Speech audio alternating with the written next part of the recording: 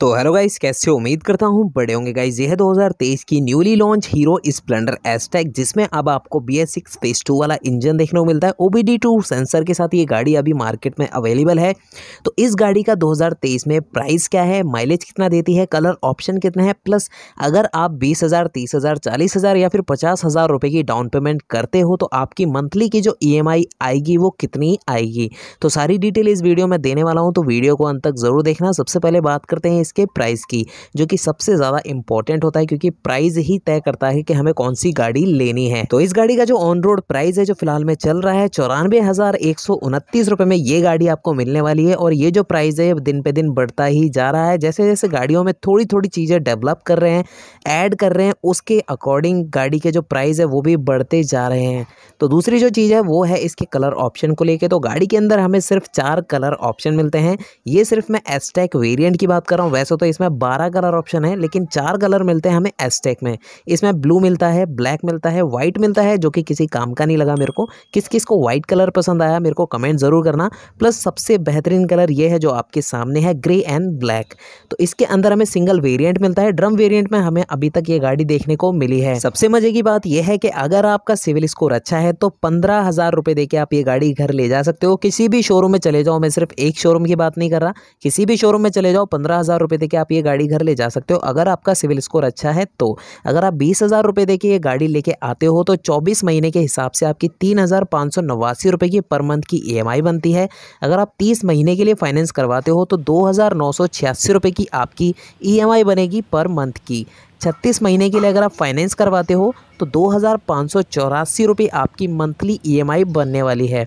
तो अगर आप तीस हज़ार रुपये भी दे सकते हो, आप अफोर्ड कर सकते हो। तीस हज़ार रुपये देने के बाद आपकी चौबीस महीने की किस्त बनेगी तीन हज़ार तिरानवे रुपये three thousand ninety three rupees अगर आप तीस महीने के लिए फाइनेंस करवाते हो गाड़ी को तो दो हज़ार पाँच सौ तिहत्तर रुपये की आपकी ईएमआई किस्त बनेगी, जो कि पर मंथ आपको देनी पड़ेगी। अगर आप छत्तीस महीने के लिए फाइनेंस करवाते हो तो दो हज़ार दो सौ सत्ताईस रुपये two thousand two hundred twenty seven rupees आपकी पर मंथ की यहाँ पे किस्त बन जाती है।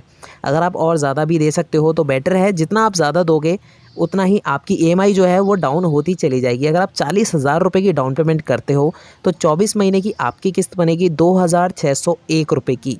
अगर आप तीस महीने के लिए फाइनेंस करवाते हो, चालीस हज़ार रुपये दे के तो दो हज़ार एक सौ चौंसठ रुपये की आपकी ई बनती है पर मंथ की। अगर आप छत्तीस महीने के लिए फाइनेंस करवाते हो तो एक हज़ार आठ सौ तिहत्तर रुपये की आपकी ईएमआई बनेगी one thousand eight hundred seventy three rupees की ओनली आपकी ईएमआई किस्त बनती है छत्तीस महीने की, जो कि पर मंथ आपको ये देनी पड़ेगी। अब काफ़ी लोगों के कमेंट होते हैं कि, सर, पचास हज़ार की डाउन पेमेंट के बारे में भी कुछ बताइए। तो उनके लिए भी मैं लेके आया हूँ। अगर आप पचास हज़ार रुपये की डाउन पेमेंट करते हो तो सबसे अच्छी बात है, क्योंकि जितनी ज़्यादा आप डाउन पेमेंट करते हो, उतनी ही कम आपकी ई एम आई यहाँ पर बन जाती है, जिससे आपको हर महीने जो पैसे देने होते हैं, वो इतने ज़्यादा नहीं देने होते हैं, जिससे आपकी जेब पे कोई फ़र्क पड़े।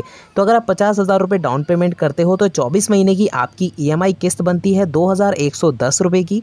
अगर आप 30 महीने के लिए फाइनेंस करवाते हो तो एक हज़ार की आपकी ईएमआई किस्त बनती है पर मंथ की। अगर आप 36 महीने के लिए फाइनेंस करवाते हो तो पंद्रह सौ उन्नीस मतलब एक हज़ार की आपकी यहाँ पे ईएमआई बनती है पर मंथ की। अब ये तो बात हो गई इसकी डाउन पेमेंट की कि कितनी डाउन पेमेंट देने के बाद आप गाड़ी ले सकते हो, लेकिन लेने के लिए डॉक्यूमेंट्स कौन से लगेंगे ये जानना अभी बाकी है। जिसको पता है, बहुत अच्छी बात है, जिसको नहीं पता वो आप वीडियो में जान लेंगे। तो गाड़ी लेने के लिए सिर्फ़ आपके पास तीन डॉक्यूमेंट्स होने चाहिए। उसके अलावा आपको कुछ भी ले जाने की ज़रूरत नहीं है। पैसे ज़रूर ले जाना भाई। ये नहीं डॉक्यूमेंट्स पे ही गाड़ी मिलेगी, पैसे भी चाहिए। तो पहला जो डॉक्यूमेंट्स है, वो है आपका आधार कार्ड, जो कि सबके पास होता ही है। दूसरा पैन कार्ड लेके जा सकते हो आप। तीसरा आपकी बैंक से जुड़ी कोई भी डिटेल मतलब उसमें तीन चीज़ें आती हैं पासबुक आता है चेक बुक आती है प्लस एटीएम कार्ड आता है। तीनों में से आप कोई भी एक चीज़ लेके जाइए वहाँ पे दिखाइए पैसे दीजिए और गाड़ी घर लेके आ जाइए। और वीडियो से रिलेटेड कोई भी सवाल हो आपका तो मेरे को कमेंट करके आराम से पूछ सकते हो मैं उसका रिप्लाई हंड्रेड देने वाला हूँ। तो वीडियो अच्छा लगा हो तो वीडियो को लाइक और चैनल को सब्सक्राइब करना बिल्कुल भी मत भूलना और वीडियो हेल्पफुल लगा हो तो इसको शेयर ज़रूर करना। तो गाइस लेते हैं अलविदा मिलते हैं अगली वीडियो में। टेक केयर जय हिंद।